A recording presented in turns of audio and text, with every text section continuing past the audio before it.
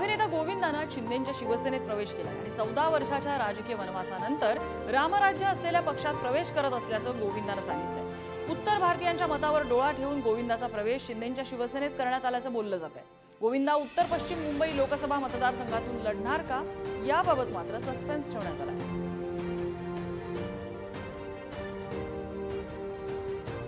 लोकसभा निवडणुकांसाठी महायुती आणि मवियाचे उमेदवार ठरवण्याच्या अखेरच्या टप्प्यात शिंदेच्या शिवसेनेत नवा प्रवेश झाला सिने अभिनेता गोविंद आहुजा यानं शिवजयंतीच्या मुहूर्तावर मुख्यमंत्री एकनाथ शिंदेच्या उपस्थितीत शिंदेच्या शिवसेनेत प्रवेश केलाय. चौदा वर्षांच्या राजकीय वनवासानंतर रामराज्य असलेल्या पक्षात प्रवेश करत असल्याचं गोविंदानं यावेळी सांगितलं. मुंबईत सुरू असलेल्या विकासाची डीप क्लीन ड्राईव्ह सौंदर्यीकरणाची जी कामं सुरू आहेत त्याचं कौतुकही त्यानं केलंय. या चौदा वर्षाच्या वनवासानंतर सुरुवात रामराज्य जिथं आहे तिथेच त्याच पक्षात आदरणीय एकनाथ साहेबांच्या कृपेनं आज मी पुन्हा या पक्षात आलोय.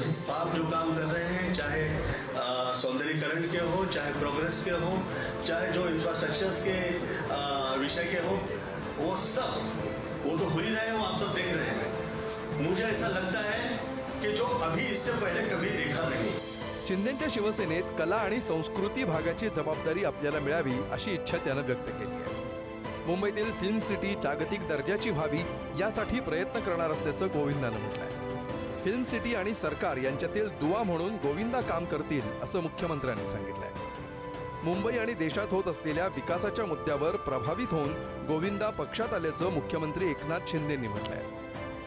एक आपला स्वभाव आवडला एक प्रोग्रेस आवडलं डेव्हलपमेंट आवडलं मोदी साहेबांचे विचार नेतृत्व आवडलं देशाचा विकास आवडला. मग ते म्हणाले मी आता चौदा वर्ष जरा गपचूप होतो. आता मी बाहेर येतो चांगली माणसं आले. त्यांनी एक सांगितलं की फिल्म इंडस्ट्री जी आहे फिल्म इंडस्ट्री फिल्म सिटी जी आहे त्याच्यासाठी त्यांना काम करायचं. चुनाव के लिए नहीं आए टिकट भी नहीं चाहिए उन्होंने। पहले मुझे कहा कि कोई टिकट विकट नहीं चाहिए। मैं बोला मेट्रो मेट्रो का तो टिकट निकलना पड़ेगा। तो बोले वो चलेगा। चुनाव का टिकट नहीं चाहिए। लोकसभा निवडणुका लढणार का? या प्रश्नावर मात्र गोविंदा आणि मुख्यमंत्र्यांनी सस्पेन्स कायम ठेवलाय. तर कोणत्याही अटी शर्थी शिवाय गोविंदा पक्षात आले असल्याचं सांगत त्यांना लोकसभेचं तिकीट नको असल्याचं मुख्यमंत्र्यांनी सांगितलंय. लोकसभा निवडणूक तुम्ही लढणार का? अं, मी ते काय सगळं विचार मी माझ्यावर ठेवत नाही. मी हा व- व हे से सगळं बघून घेतलं मी. चुनाव के लिए नहीं आए टिकट भी नहीं चाहिए उन्होंने. पहले मुझे कहा कि कोई टिकट विकट नहीं चाहिए. मैं बोला मेट्रो मेट्रो का तो टिकट निकालना पड़ेगा. तो बोले वो चलेगा. चुनाव का टिकट नहीं चाहिए। फ्लॉप ठरलेल्या अभिनेत्याला घेण्यापेक्षा चालणाऱ्या अभिनेत्याला पक्षात घ्यायला हवं होतं अशी टीका गोविंदाच्या प्रवेशावर जयंत पाटील यांनी केली आहे. यावर हा सगळ्या कलावंतांचा अपमान असल्याचं मुख्यमंत्री म्हणाले. गोविंदाचे पिक्चर आता चालत नाही. त्यांचा शेवटचा पिक्चर फ्लॉप गेल्यानंतर नवीन काहीतरी पाहिजे चालणारा नेता चालणारा नंतर घ्या म्हणा. त्यांच्यापेक्षा चांगला कलाकार आहे ना.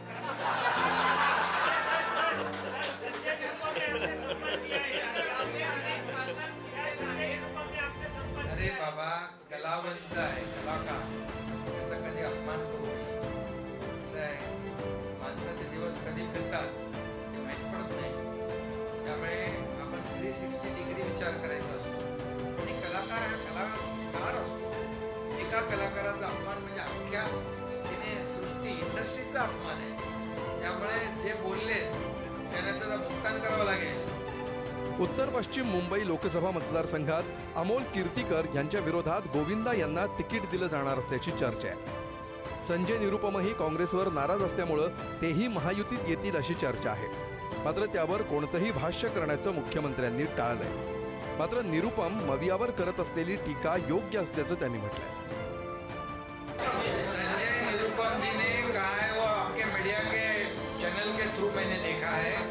क्योंकि उन्होंने कहा कि मैं खिचड़ी चोर का प्रचार नहीं करूँगा। बराबर ना? कैसे करेगा कोई?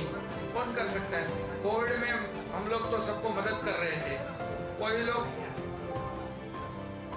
पैसे कमा रहे थे। और ये तो खिचड़ी चोरी करना, डेड बॉडी बैंक में पैसे खाना, ये तो बहुत पाप है ना? इसलिए संजय महापाप है। इसलिए संजय निरुपम जी ने बराबर कहा है।